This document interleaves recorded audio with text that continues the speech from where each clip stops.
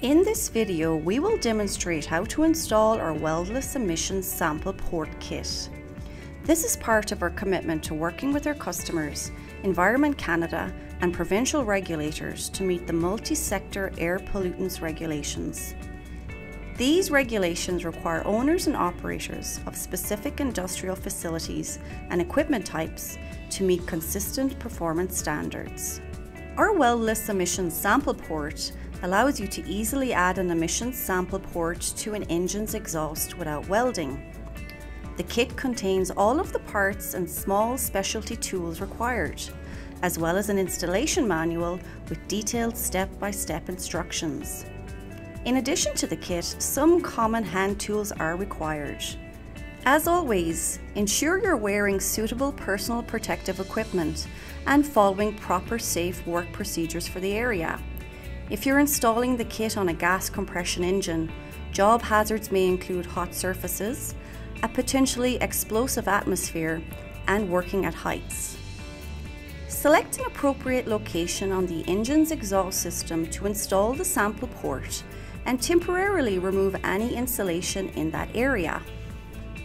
For safety and proper spring preload, the temperature of the exhaust pipe must be less than 40 degrees Celsius. Next, mark the two hole locations on the outer wall of the exhaust pipe. To install the kit, we will be drilling two concentric holes in the pipe wall so that the ports in the sample tube are located in the center of the exhaust pipe. On a horizontal pipe, one method of locating the holes is by using a band or tape around the pipe and a level to find the tangents. The holes should be horizontal regardless of exhaust pipe orientation. Drill the two holes using the 9 16 drill bit provided in the kit. Begin to assemble the packing gland by inserting one of the end packing rings into the bottom of the gland. Then insert the three inner packing rings, followed by the remaining end ring. Orient the cuts in the packing rings at least 90 degrees apart for optimal sealing. Temporarily insert the sample tube through the exhaust pipe. Remove the ferrules from one end of the union and place them on one end of the sample tube, followed by the modified nut and T.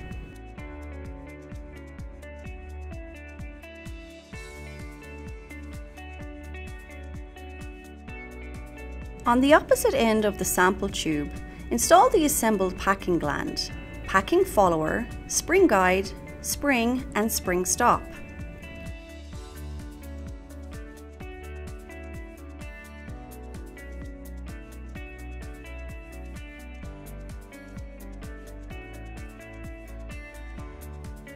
Gently press the assembly together from both sides so that the ferrule and packing gland are in contact with the pipe wall.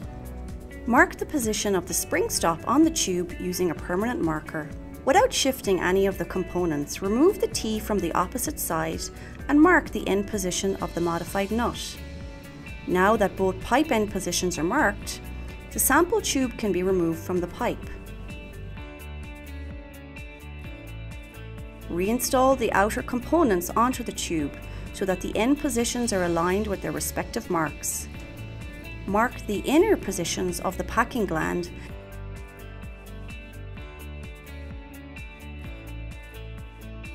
and the front ferrule on the sample tube. Measure the distance between the two new inner markings which should be approximately the outer diameter of the exhaust pipe. We'll call this length measurement A. Place a center mark on the sample tube, halfway between the sampling holes. On one side of the tube, create a mark that is half of length A, plus 4 and 1 8 inches.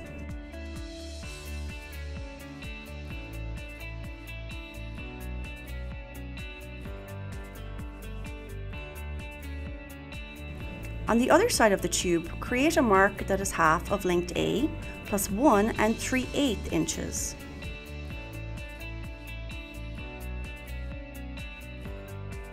Cut and deburr the sample tube at the newly created marks and then reassemble the kit on a bench to verify the sampling holes are centered between the components on each end.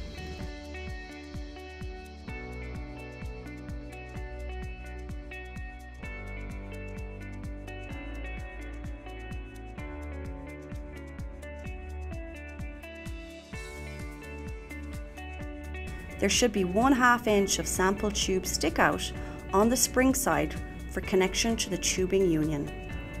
Pre-assemble the non-spring end by fitting the ferrules, modified nut and T to the short end of the sample tube.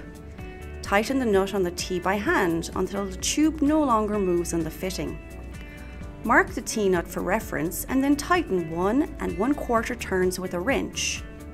Use the thinner end of the inspection gauge to verify the nut is sufficiently tight. The inspection gauge should not fit in the gap between the nut and shoulder of the T. Install the subassembly into the exhaust pipe with the ends in the desired orientation. The spring end is designed to be the primary sampling side of the assembly. Assemble the spring end components starting with the assembled packing gland, followed by the packing follower, spring guide, spring, spring stop and the union. Remove the ferrules from the outboard end of the T and then temporarily install nuts on the outboard ends of the T and union. Prepare the tension rod by installing the large washer, small washer and nut onto one end of the threaded rod. Slide the tension rod through the sample tube and install the washers and nut on the opposite side.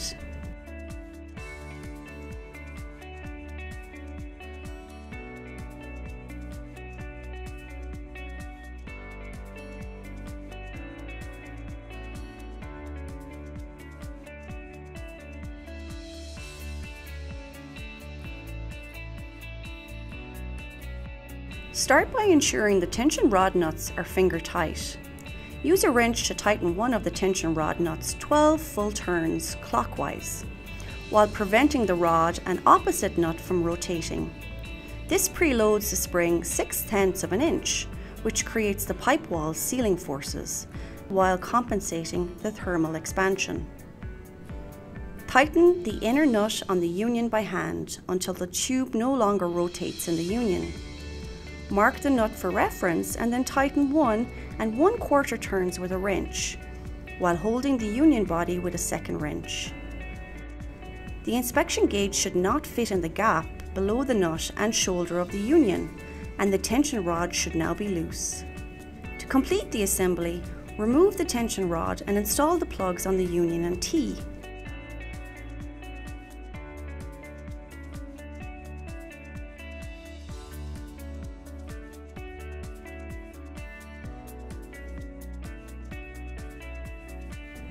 The weldless emission sample port is now ready to use. Just remove the union plug and insert a sample probe or connect your sample line to measure the emissions from the centre of the exhaust stream. Thank you for watching. Please contact us today. We would be happy to assist you.